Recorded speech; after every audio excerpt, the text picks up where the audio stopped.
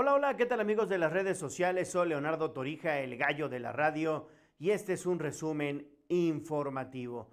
Falsa alerta de bomba se registró en la Casa de Justicia de la Ciudad de Pueblo, ubicada ya en la 11 Sur. Por otro lado, fatal accidente, el saldo, un muerto y nueve lesionados. Esto sucedió allá en la carretera que conduce al municipio de Nauzontla, en la Sierra Norte de Puebla.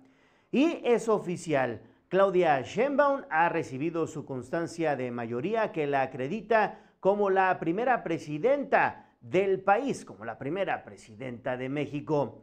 Tras recibir esta constancia de mayoría en el Tribunal Electoral del Poder Judicial de la Federación, se trasladó al Teatro Metropolitan de la Ciudad de México, donde pronunció un discurso. Allí estuvieron presentes invitados especiales como los gobernadores en funciones, Sergio Salomón Céspedes Peregrina y electo Alejandro Armenta Mier.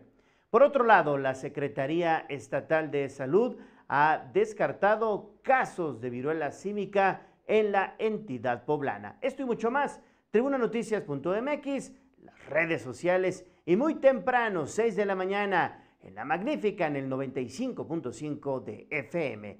Excelente noche.